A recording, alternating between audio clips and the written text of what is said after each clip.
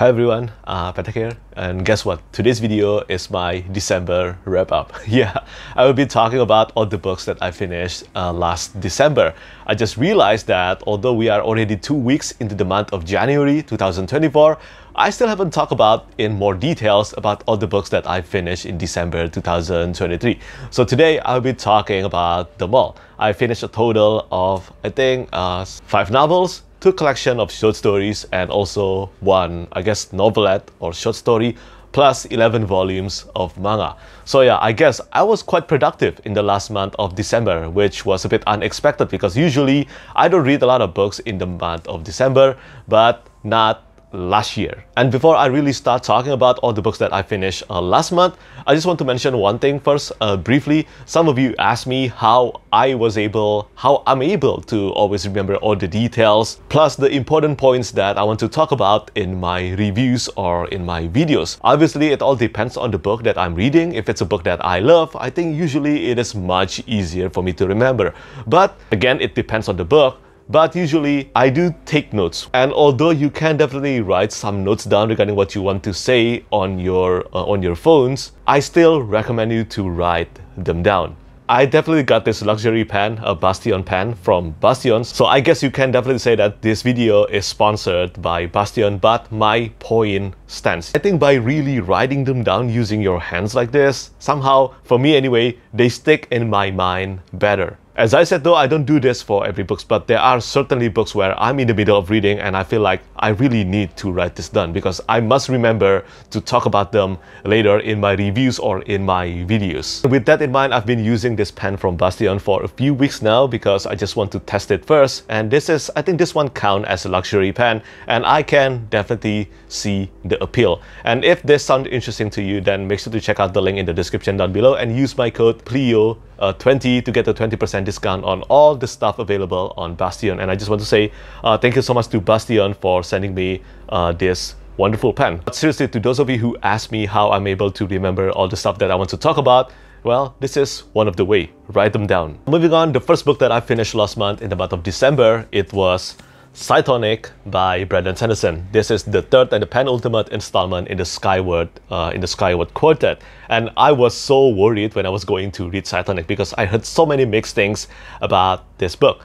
And although it is probably because I keep on hearing uh, bad things about uh, Cytonic, I had very low expectations entering this one. And I ended up enjoying this uh, more than I thought I would. It is certainly the weakest book in the entire series so far. Skyward and also Starsight are certainly much better compared to Cytonic because although this was engaging throughout the whole book, but also it felt almost pointless. Cytonic definitely felt like a filler installment. Remember that in Starside, we started seeing uh, Spensa, instead of spending time with the crew of Skyward Flight, we get to see Spensa spending her time with a new set of characters. And that, I guess, kinda happened again in Cytonic, but Unlike Starsight, the characters that she encountered in Cytonic are not as engaging in my opinion. And also, the amount of stuff and details that happened in Cytonic is just was not enough to warrant another novel on top of Skyward Flight, on top of the Skyward Flight omnibus. And that's really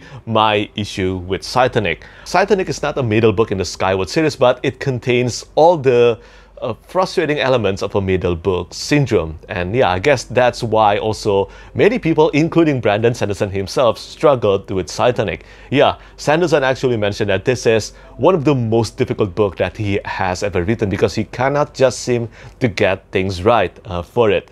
And other than this one, I finished the final title in Skyward Flight.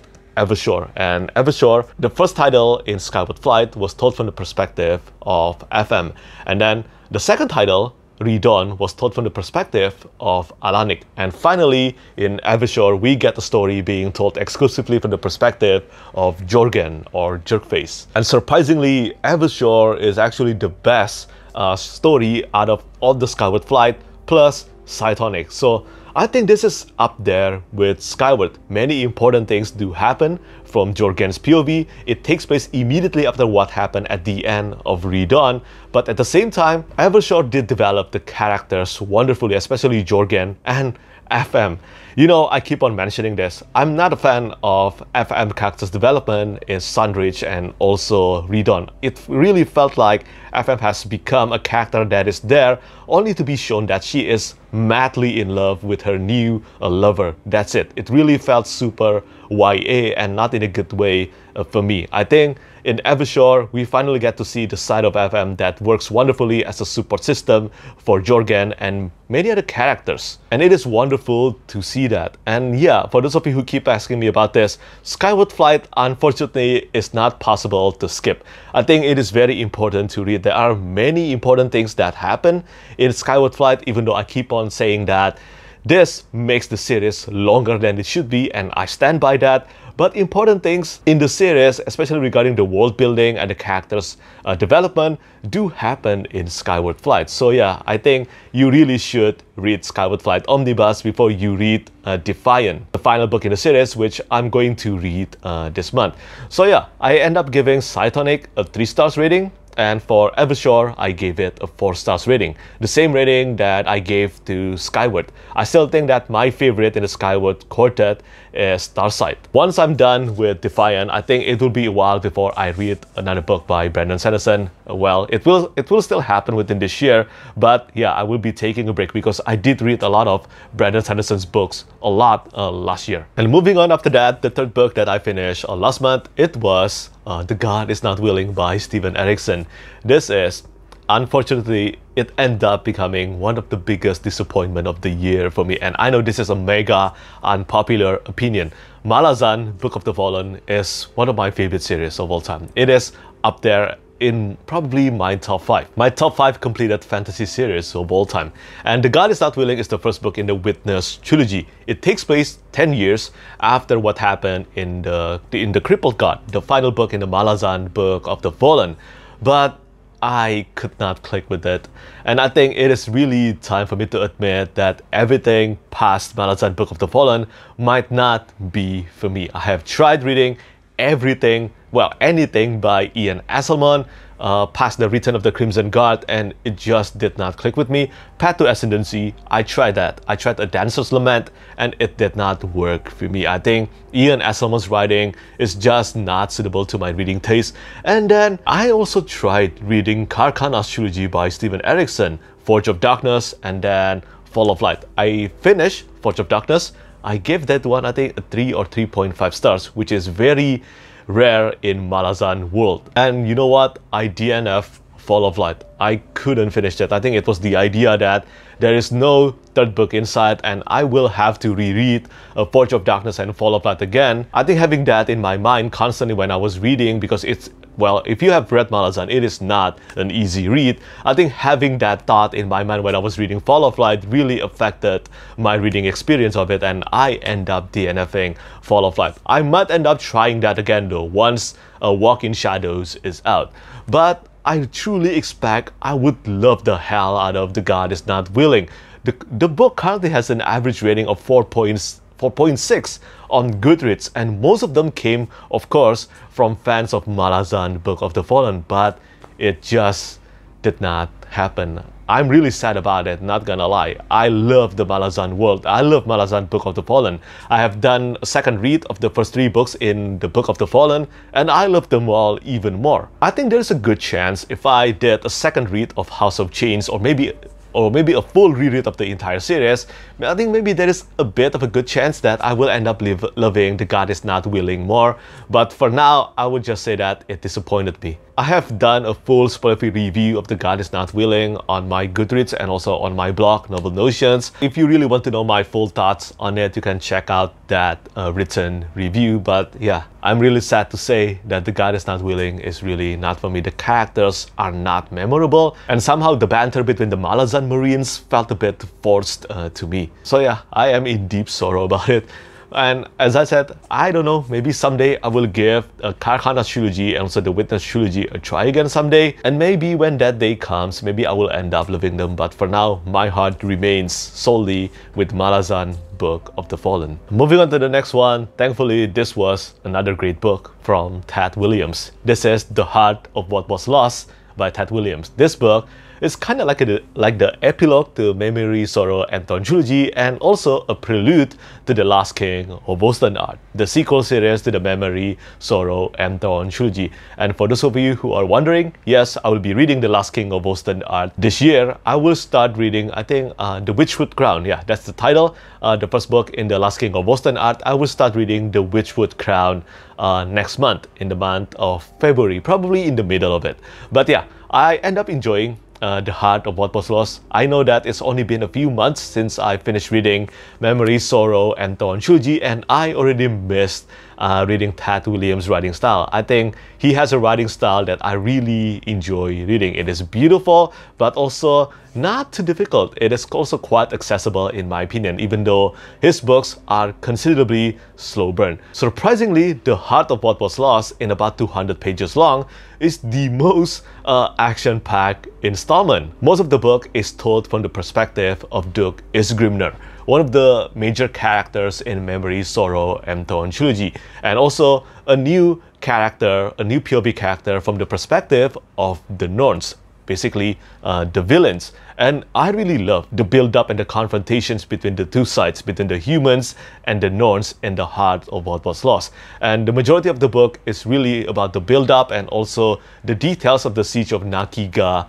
itself. The new POV characters from the human side, not Duke Isgrimnur and not from the Norns, they took me some time to get used to. But after after really understanding the intention of having them in this title, I end up appreciating the inclusion of their uh, perspective perspective.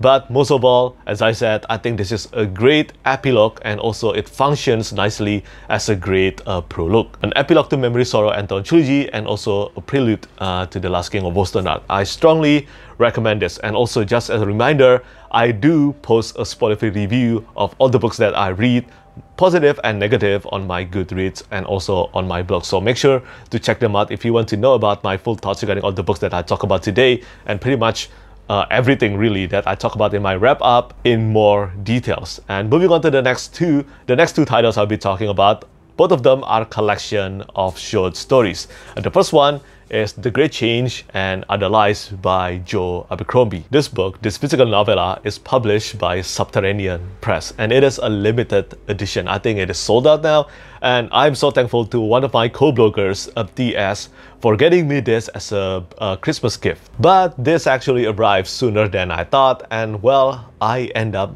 reading this in a day. I love Joe Abercrombie's writing so much. The collection of short stories, four short stories, The Thread, uh, The Stone, The Point, and The Great Change are pretty much a detailed look into the behind the scene of what happened in the Age of Madness trilogy, the newest trilogy by Joe Abercrombie in the world of the First Law. It is not a mandatory read, but for me, just to be reading another book, another story in the world of the first law by Joe Abercrombie is always a pleasure and a blessing. I just love his writings uh, very much and of course this ends up becoming one of my favorite collection of short stories in the year 2023 just slightly below Jade Shards by Fonda Lee. If any of you are fans of the first law and you want to read uh, The Great Change and Other Lies, it is still possible to read this one just in ebook format. I think it is available on Amazon and also on Subterranean Press. And the book actually contains four interior illustrations by the same cover artist, John Anthony Di Giovanni, and they all look beautiful. And the other collection of short stories that I read uh, in December, it was Tales of the Sun Eater Volume 2 by Christopher Ruocchio. So I did say that uh, the first collection of short stories, I have a mixed feeling about it. And well, I guess you can say that I still have a bit of a mixed feelings regarding the collection of short stories in the Tales of the Sun Eater Volume 2, but mostly positive rather than negative, like the one in Tales of the Sun Eater Volume 1. I actually remember I actually had a much better time reading the collection of short stories uh, this time. And I think that's a bit surprising because I did say in my uh, review of Tales of the Sun Eater Volume 1, it is most likely that my connection and also my absolute my absolute love with the Sun Eater series relies a lot on having the story being told from the perspective of Hadrian Marlowe. I think his first person perspective is just immaculate and also unforgettable. It is full of melodrama, but it is the kind of melodrama that I like to, I really like to read. And we did not get that a lot in Tales of the Sun Eater Volume 2. We only have, out of the six uh, short stories here, we only have one short story from the perspective of Hadrian and it was a really short one. It is a philosophical one, I think the title is Knowledge and I really like that, of course. But other than that, we finally get a short story told from the perspective of Valka Onderra. Yes, Valka. Valka is such an important character in the Sun Eater series and to have a story being told from her perspective it was incredible. And on top of that, remember that I have read The Lesser Devil uh, short novel by Christopher Ruocchio, a short novel revolving around Crispin Marlowe. Well, there's a title here, the last title in the Tales of the Sun Eater Volume 2, and it is a continuation to The Lesser Devil. These three short stories alone was already enough for me to give a higher rating to Tales of the Sun Eater uh, Volume 2. And also, the first title in this collection actually gave hints on what happened to Hadrian in Kingdoms of Death. At the time of recording this video, I am about to finish reading Kingdoms of Death and seriously, it is absolutely incredible.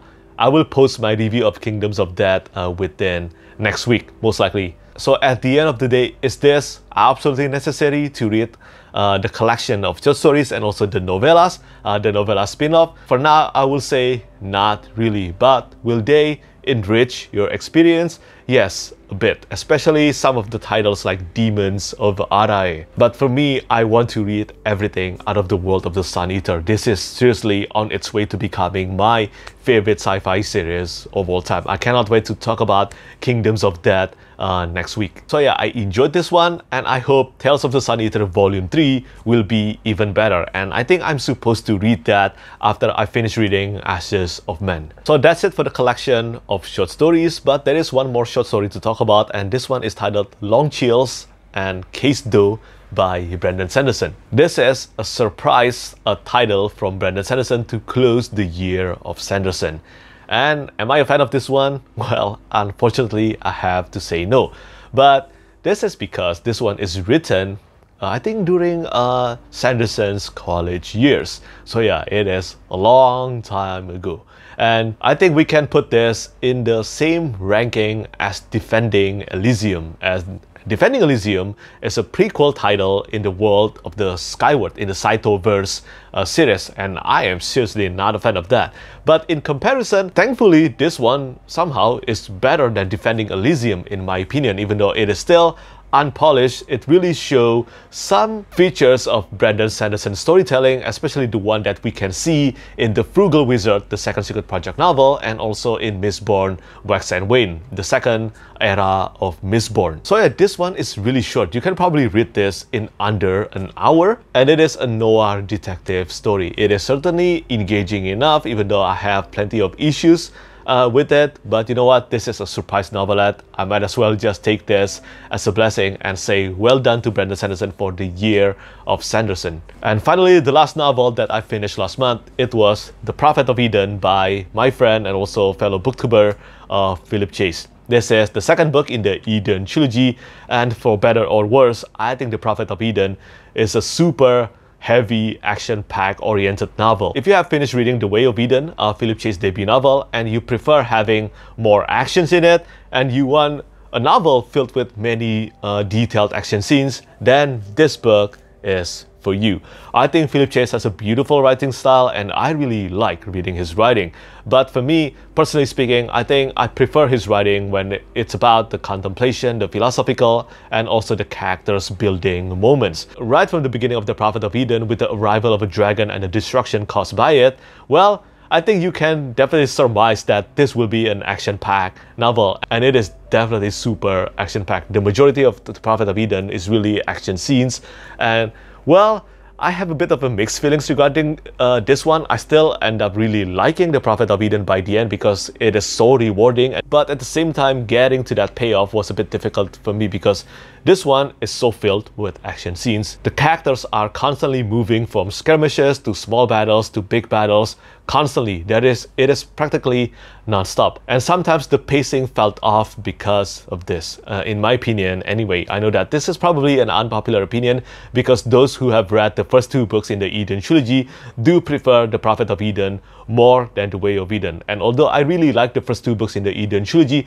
I still love the first book more, The Way of Eden, which I consider to be the best fantasy debut being released in the year 2023. However, as I said, the payoff is amazing. I was a bit surprised and felt a bit odd that The Way of Eden did not feel like it contains uh, elements of Malazan Book of the Fallen, which is Philip Chase's favorite series, I think favorite fantasy series of all time, if I'm not mistaken.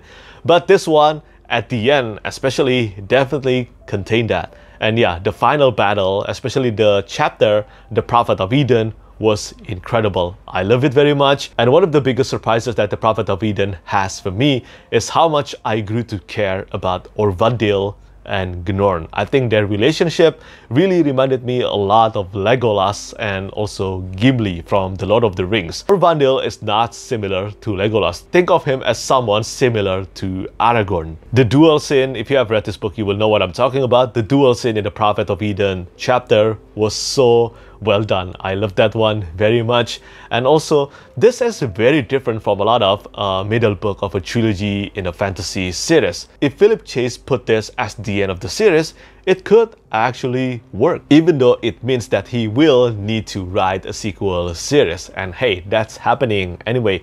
But after reading The Prophet of Eden and also being proven wrong that Philip Chase is absolutely capable of writing great action sequences, I am excited to read The Return to Eden, the final book in the trilogy, The Return to Edan. It is kind of difficult for me to pronounce Edan because Edan in Indonesia means literally insane. So yeah, sometimes I end up pronouncing Edan as Eden here. But anyway, this was a good sequel and I look forward to reading The Return to Edan probably next in the next two or three months. I know that based on the receptions online, it really seems like the third book and the final book in the trilogy is the fan favorites. So that's all the novels and collection of short stories or short story that I read in uh, December 2023. After this video, I'll be talking about all the books that I started reading and also read in the year 2024.